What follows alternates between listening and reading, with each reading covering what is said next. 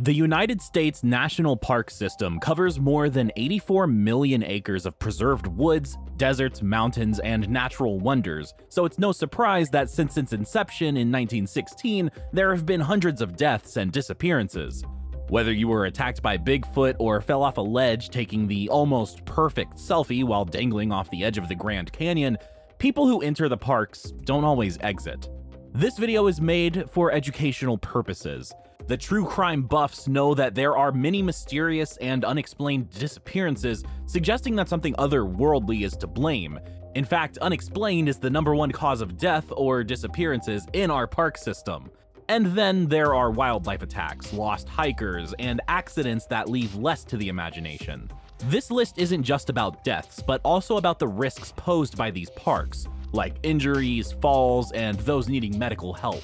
So before you think Teddy Roosevelt and grab that national park passport, let's check out the most dangerous national parks. Number 9 is Denali National Park in Alaska. This isn't even one of the most visited parks, so the fact that it makes this list shows that all who visit should use caution. Going strictly by its per capita death rate, Denali is by far the most dangerous national park. It is a staggering 10 times more dangerous than Great Smoky Mountains National Park, which sees less than one death per million visitors. Denali sees 9.8 deaths per million visitors. The main cause of death is environmental, which is no surprise given its extreme northern latitude. It is one of the least developed of our national parks, and Mount Denali, formerly called Mount McKinley, is the highest peak in North America and lures in many climbers, both experienced and less than experienced. Exposure is the leading cause of death, followed by falls. And although you may think bear attacks would be more common in Alaska, there has only been one fatal bear attack in the park's entire history. One of the deadliest incidents in the park was the 1967 Mount McKinley disaster, which saw the early demise of seven climbers as they tried to descend the mountain in one of the park's worst recorded blizzards. It is still the deadliest accident in Denali, and at the time was one of the deadliest mountaineering accidents in history. Number 8 is Arches National Park in Utah. This park is home to some of the most mesmerizing photo ops, with huge rock arches balancing across the desert. Situated in the Moab Desert, the park authorities respond to hundreds of search and rescue calls. Exposure and falls are leading causes of death, which will be a theme in this video. Visitors are encouraged to bring plenty of water to stay hydrated, particularly if you get lost or wander off the trail. Falls are another risk factor with steep drop-offs on hiking trails and slippery rocks. One of the most bizarre and tragic deaths in the park was when a woman was decapitated while leaving the park.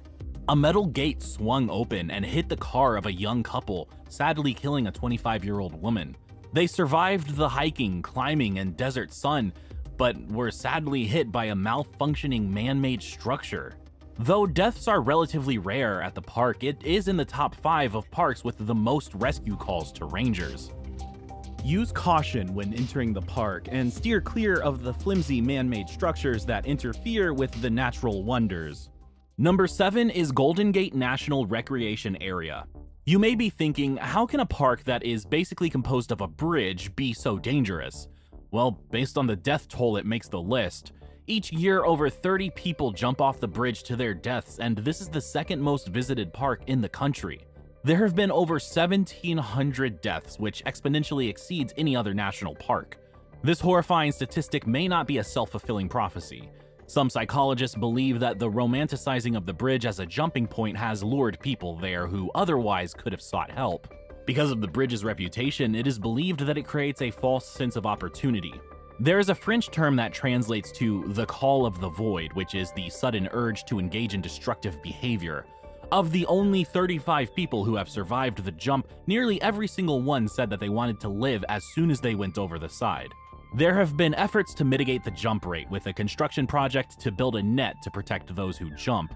What more likely happens with these similar net projects is that the jumping opportunity is no longer there and help can be sought. Number 6 is Grand Teton National Park in Wyoming. This park became famous for the recent death of famous influencer Gabby Petito. Her story made headlines when her body was found in the park long after her boyfriend returned home to Florida in the van they'd been living and traveling in. There was no sign of Gabby. Sadly, it turned out that she had been murdered by her boyfriend and left in the park. While this may be the most notorious death in the park, it's not just others that you need to watch out for. There have been 48 deaths in the park in the past 10 years, with 21 of them being from falls. The steep mountainous terrain can challenge even an experienced hiker. Other leading causes of death are hypothermia and heart attacks from the stresses of the treacherous hiking.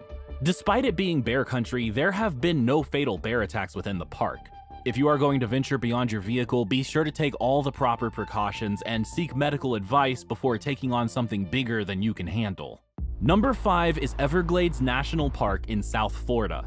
This may not top the death toll, but this park is home to some of the deadliest wildlife in the country, the Everglades are the largest protected wetland in the US, and for good reason. It is home to hundreds of different species, including 12 invasive species like the Burmese python. The American alligator, the eastern diamondback rattlesnake, and the Florida black bear are just some of the wildlife that can be deadly to humans. Despite the beauty of South Florida, there is no swimming in the Everglades. However, small children have been known to fall or jump into various canals and waterways. One of the most bizarre incidents in the Everglades was when Eastern Airlines Flight 401 crashed into the murky Everglades shortly before midnight on December 29, 1972. There were 101 fatalities, but of the 75 who survived the plane crash, they faced a new danger.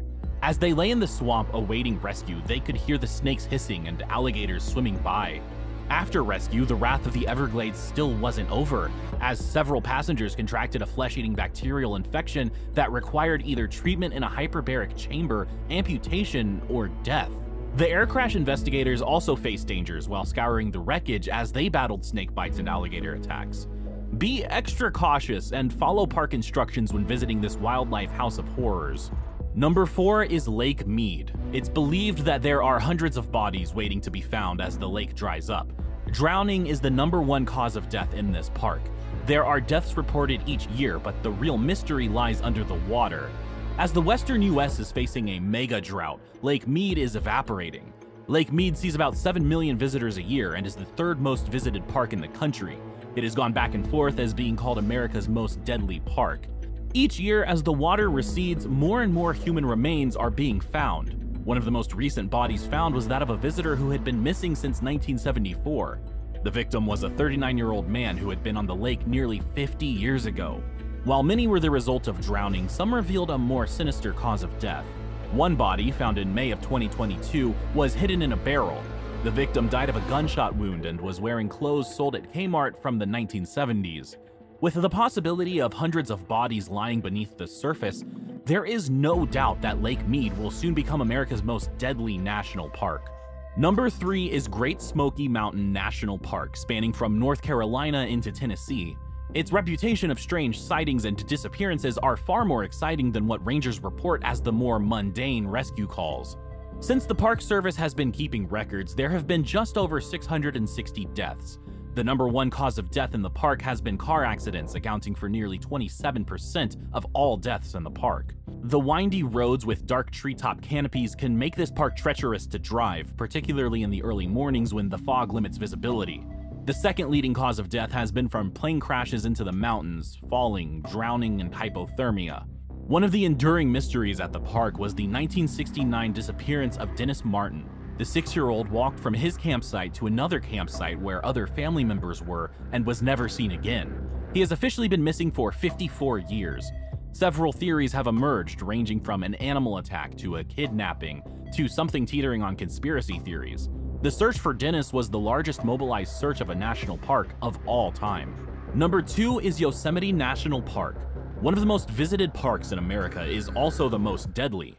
Since 1851, over 1,500 deaths have been reported within its borders.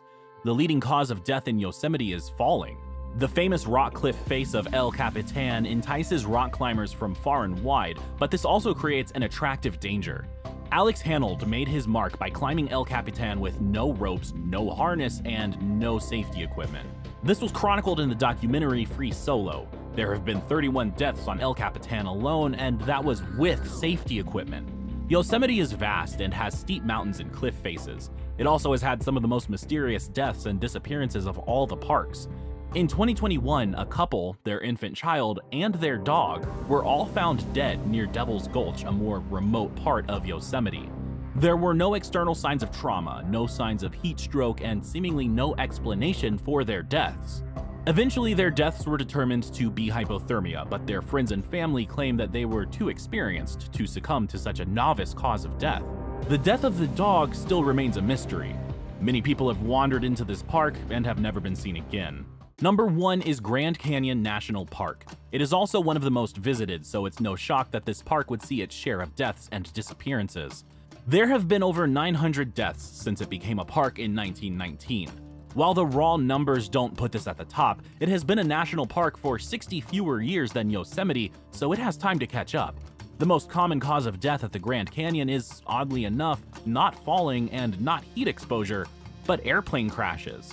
Even if you exclude the 1956 mid-air collision between two commercial planes, this would still be the leading cause of death. If you exclude suicides, then accidental falls tie with environmental causes for the number two cause of death. It has often been asked how many people have accidentally fallen into the canyon while taking a selfie. Though this data isn't exactly on the National Park website, the Grand Canyon is cited as one of the most deadly locations for people willing to risk it all for Instagram. With all the national parks covering millions of acres of America, there's bound to be danger.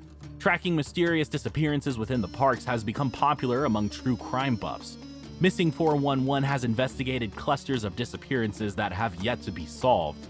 Experienced hikers all disappearing under similar circumstances have tantalized the internet. Despite all the dangers, people still flock to the parks by the millions.